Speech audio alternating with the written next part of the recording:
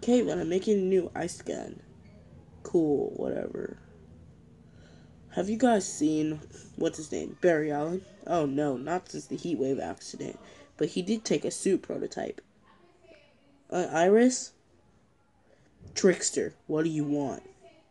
Oh, it's a very simple game. First, you have to disable a bomb. And yes, second, you have to choose a hostage. Third, you have to fight with Captain Cold. And fourth, you have to fight with me. Can you do it? Of course I can. I'll be back in a flash to kill you. You wouldn't kill me. You've done so much crime. Okay, gotta disable this bomb first. Oh no, it, I can't disable it. ah, my leg. Yeah, he'll be here soon. Oh, there you are. Pick a hostage. Uh, Officer Green? Haha. you, Captain Cold, what do you want?